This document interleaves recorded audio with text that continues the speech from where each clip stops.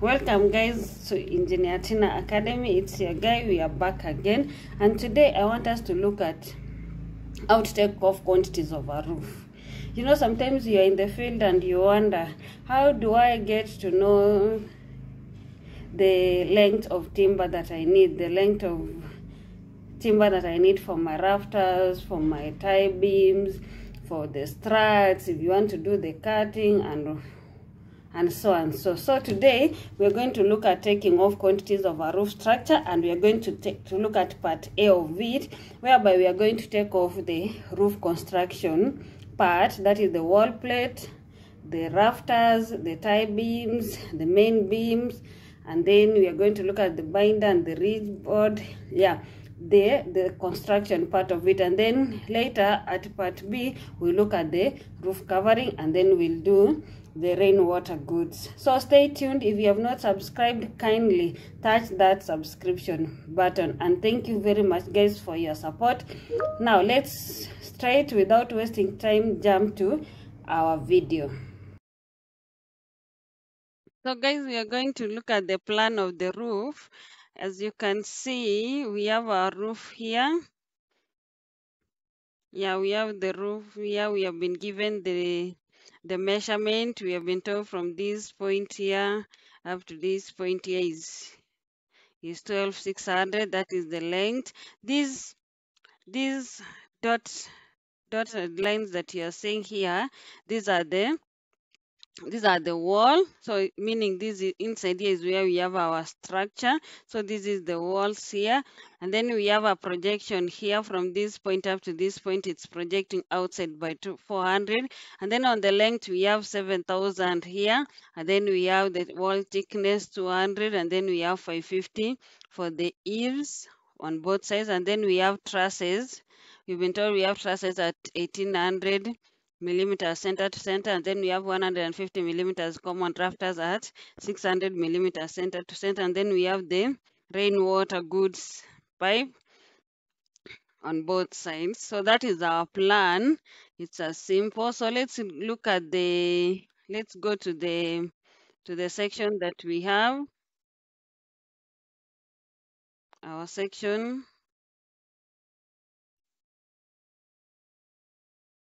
so that is our section here. We have our section here. So this is what we have for the section. We have we start from the top. We have the the tiles for 20 by 330 millimeters. Marab single up tiles 150 by 50 millimeters common rafters and sorry truss rafters and common rafters. And then we have we have the 440 by 50 50 by 40 millimeters batten here. And then we have the 50 500 gauge polythene underlay on chicken wire we have 750 millimeters lap. We have the 200 millimeters round ridge cover. And then let's look at the inner members that we have. We have this member here this member here is our is our 150 by 50 truss rafter and the common rafter. This is our rafter here. And then if you look at this member here that is our wall plate. Sorry that is our main tie 150 by 50 millimeters main main tie. And then we have the ties and strut this is a tie. This one here is a tie. And then this one here is a is a strut. This is 100 by 50 millimeters ties and struts. And then we have our wall plate here. We have our wall plate here 100 by 50 millimeters wall plate. And then we have 50 by 50 run at this one. And then we have our bearer. This is our bearer here. That is our bearer. 50 by 50 millimeters bearer at 600 center to center. And then we have 200 by 50 by 25 millimeter fascia board. This is our fascia board here and then we have 200 millimeter stick wall. We have our wall here. And then we have 25 millimeters T and G soffit boards. This is our soffit board here. And then we have 100 millimeters gutter. We have our gutter there going down to the rainwater pipe. And then we have 50 by 100 150 by 50 millimeters binder. We have our binder there. And then what else have we not mentioned? I think we have mentioned everything. So that is how our roof looks like. So we go to what we are going to take off. So we are going to do this roof taking off in parts so that we can do the first one, the, the first part, the second and the third as we go to the to the end. So what we are going to take off items in this part one, we are going to look at roof construction. That is the wall plate, the rafters, the tiles, the ridge board, and the and the binders. That is for part one. So let's start with the wall plate. This is our wall plate here. A wall plate is an horizontal member that is that is placed on top of the wall so that it can be able to support the the trusses. So our wall plate takes the takes the measurement of the wall that is from this place here that is from this place up to that point. That is where we have our wall plate that along that point this one. Now the wall plate is going to project inside the wall by 100 so from here we take 100 and then from here we also take 100 so that is where we are going to have our wall plate for but for the for this this side and the and the and this side. So it's we take the length and then we add the projection that is 2 to 100 what do we get? So that is 12600 plus 200 12600 plus 200 that gives us 12800 remember there are two. So from this if you can look at this small drawing here this one here so this is our, our wall plate there so that is our, our wall plate at that point. So there are two we are going to say 100 by 50 millimeters treated cypress wall plate. So the, the the measurement is 12800 then we multiply by by 2 let's look at the trusses. Let's look at the trusses. Now the trusses is this all component here this all component here is what we call a truss. And it has if you can look at this one it has a rafter. This is the rafter here. Let me point it. This one here. This one is a rafter. And then this one is the main tie beam. This is a a, a, a tie. And then this is a, a strut. So those are these all components here they form what we call the the trusses. Now let's start by getting the number of the trusses. How many are there so the trusses they they go up to the wall from this point up to this point. From from the the entire length of the of the wall horizontally. So we're going to take from this point up to that point that is 12 12600 yeah here from this point here 12600 and then we are told they are at they are at what? They are at 1800 millimeter center to center. So we want to know from we want to know how many do we have from here? From here up to yes from here up to here from here up to here. How many do we have along along the width? How many? So we take the length and then we divide by the the spacing that is 1800 and then we add we add one for us to be able to get how many are running along the along the width so it will be 12 600 divided by 1800 sorry this is 1800 divided by 1800 and then we add one those are nine. So we have these components here this member here the whole of it comprising with the truss and the struts the ties and the struts we have eight of them so we provide eight number trusses of effective span 3.0 meters above the ground level So we have eight of them. So let's look at the rafters. Let's look at the rafters. Now the rafter, we are going to need the span. We are going to need the, the width. That is what we are going to use. So the rafter,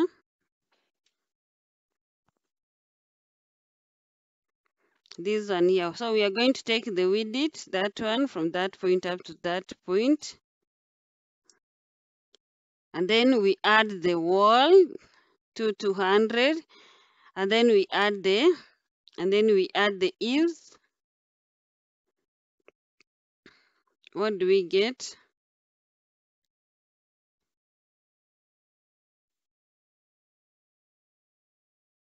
And then we add the eaves. So we have two 200 and then we have two 500 for the eaves. That gives us 8,500. And then if you look at our drawing here, we have the fascia board here. So we are going to subtract the fascia board and then we also subtract the, the girder here the fascia board here and the girder. So the fascia board is 25 and then the girder is 100. So we subtract that. We are left with 8,250. Now we divide by 2. That gives us 41, 200. Now if you look at the drawing, if you look at our plan, our section, so this is where we are now. So we have this one. This, this is where we are. So we are, we want to find the the rafters. So we want to find this length here. This hypotenuse here is what you're looking at. So I've done a small sketch here. So from this point here is the half of it is 1241.25. So let's find the hypotenuse yeah we are at this point. So we want to find this rafter. Yeah we want to find this rafter. And then so we have a half of it a half of it. That is that one. That is 41.25 and then we, we were told here is 30 degrees. So we have now this whole section here this is what I've, I've drafted down here. Now we have we have to find x. So x will be cos 30. That is adjacent over hypotenuse. That is adjacent over hypotenuse. That is cos 30. So x will be 425, 4125, 4125 over cos 30. That is that will give us 7,000. 4,763 millimeters 0.14 millimeters. No, now that is our, our X. So that is the length of our, our rafter. So this rafter, there are two, this one and this one.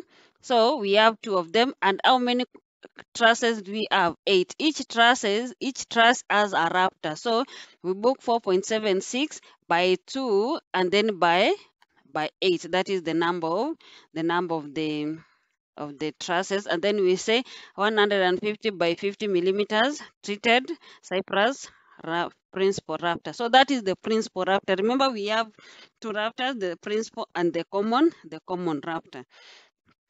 Now we go to the main tie beam. Let's look at the tie beam. Yes this is our tie beam here. This one here is our tie beam. This one is our tie beam and it is 150 by 50 millimeters tie beam. So let's find the length of that, that tie beam. If you can look at the tie beam, you're going to take the length of the, the length and then we are going to add the wall and then we are going to add the thickness of the rafter because the, our tie beam is going is is is going up to the outside here so we are going to add the thickness so we are going to add the length and then we add the wall and then we add the rafter for us to get the length of that member that is the the main tie beam So what do we have? We have 7,000 plus the wall, that is 400, plus the rafter, that is 150, that gives us 7,700. So how many do we have? We also have 8 because we have 8 trusses. So 7.70 by 8. Let's go to the ties and struts. We're going to use this one here. So this is what we have. 7,000 is from this point up to this point. Then, sorry, 7,000 is the entire span from here up to here excluding the walls that is 7000 and then we divide by 2 that gives us 3500 and now we had the we add the wall yeah so we are up to this point so we are up to there. So from here up to here is that 7 is that 700 so this is what we have. Remember here is 30 degrees here is 30 degrees and here is 90 here is 90 degrees. Now let's look at let's find c. From this point up to this point is where we have our c. So we are going to use the the bigger triangle that one to find c. So c will be will be opposite so the adjacent adjacent of hypotenuse. That is what is going to give us c.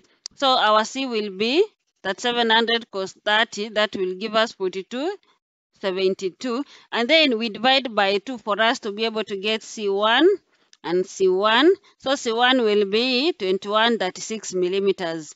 Now that is our C1 we have our C1 take note on that. Now I want us to transfer that one here. So our C is 2136 we have that. Now let's look at let's look for A. A now is our our tie here. Let's look for A. A will be opposite. A will be opposite over. A will be tan theta, that is tan theta, because we have the 21 opposite of adjacent. Now this is our opposite and then we are looking for adjacent. So tan theta that is A over 2136. So our A is going to be 2136 times tan theta that gives us 1233 millimeters. So our A here is 1233 millimeters. So let's go to to finding B. B is here now. B is here. So we are going to take this part here that one is what I've brought down here. So we have 90 degrees. Here, see, here is we have C1, that was 2136. That is what I've placed here, 2136. And then we have 30, and then we are going to look for B. So B, that will be adjacent over there hypotenuse. So that gives us cos. Cos theta will be adjacent over hypotenuse. That is 2136 over B. So B will be 2136 over cos 30. That is going to give us 2466 millimeters. Now this is our our tie and this is our strut. So we are going to book them. So we have 1.2 1.23 for the tie times 2 because there are two there are two that one is there are two this one and this one that is what forms a, a, a, uh, one truss and then how many trusses do we have eight and then for the strut we have 2.47 by 2 and then by 8 and then we are going to say 100 by 50 millimeters treated cypress tie and strut respectively. And then that gives us the end of the eight number trusses. So up to that point we'll have booked the eight trusses. Now we go to the common rafter. We add a common rafter this one here we add a common rafter here we are told 150 by 50 millimeters common rafter at 600 millimeters center to center now bear in mind that we already have the principal rafters. So whatever we have for the common rafter, we are going to subtract the principal, principal rafters. So let's look at that. The common rafters that we have. So they are the length is 12 600 the spacing is 600 we add 1 we get 22 and then we subtract the the principal rafters which were 8 that gives us 16 and then they, they share the same length as the the principal rafter that is 4.67 by 2 they also 2 and then we multiply by 16 let's go to the binders and the ridge board the length is 12 600 this is our binder here the one that is supporting the the one that is supporting the the, the beam down here. This is our binder. That member down there. So the binder we also take the length the length and then we add the wall. Because for our binder it's going to be this length here and then we add the wall because 200 and then we add the the projection that is 400 so from this point up to this point is where we have our binder. So when we had that what do we get?